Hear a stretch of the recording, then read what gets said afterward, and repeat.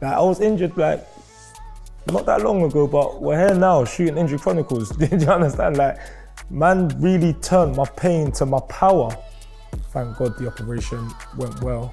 Just try to make myself feel as uncomfortable as I can in that new space, just for growth to occur. All of that anger, frustration, pain, loneliness that I was feeling at the time, it was just, I managed to find a way to, to mix it up, stir it up, and use it in, as fuel to, to get me back.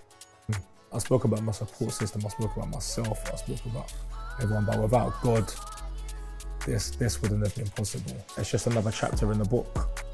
It's just another chapter, and it's not the end of the book.